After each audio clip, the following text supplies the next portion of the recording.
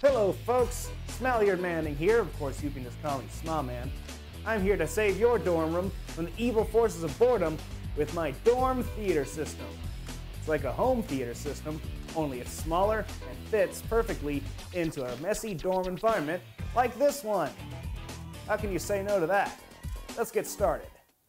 I recommend you get yourself a power strip. Very handy, but be sure you read up on your dorm's policy on them. Wouldn't want to get in trouble. Even worse, cause a fire. You'll also need a TV, obviously. For your audio output, I recommend you get yourself a stereo shelf system. And finally, you'll want a few things you can plug into this system, like video game consoles, DVD players, and more. With your army assembled, it's time to go to battle.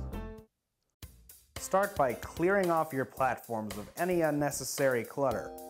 Then, pull your surfaces a few inches away from the wall so you have plenty of room for all the wires and stuff that's going to be running around there later.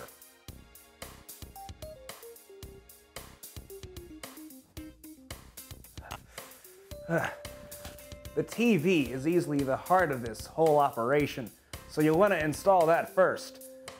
And you might want to get your roommate to help.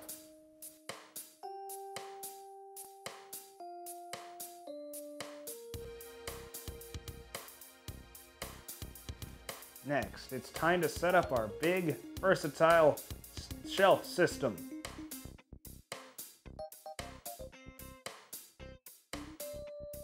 Now's the fun part, bringing it all together. You'll need to find a way to connect your TV to your sound system, but you'll need to check your instruction booklets for that. It's time to hook some stuff up. Now you can pop in a DVD and enjoy your favorite TV show or movie. Your dorm entertainment system can also serve your gaming needs as well.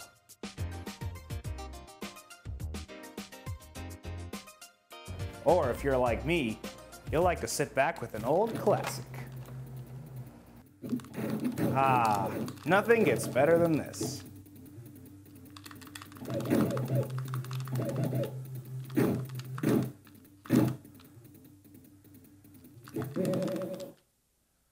Whoops.